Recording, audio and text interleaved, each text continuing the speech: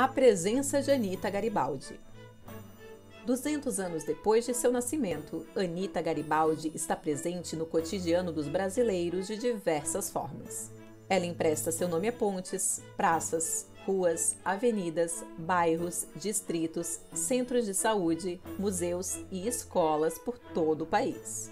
Em Santa Catarina existe o município de Anita Garibaldi, 1961, na mesorregião serrana nome dado em virtude de sua passagem pela região em 1840. A medalha Anita Garibaldi, criada em 1972, é uma honraria concedida pelo governo estadual às pessoas físicas ou jurídicas que contribuíram para o engrandecimento de Santa Catarina.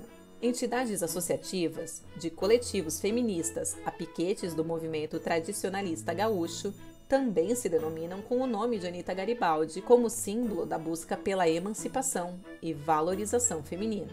O governo do estado, por meio do decreto 1173/2021, instituiu 2021 como o ano comemorativo do bicentenário de nascimento de Anita Garibaldi.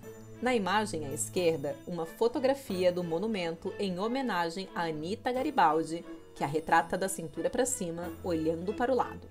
O busto encontra-se na Praça Getúlio Vargas, em Florianópolis, e foi esculpido por Antônio de Matos, inaugurado em 1920.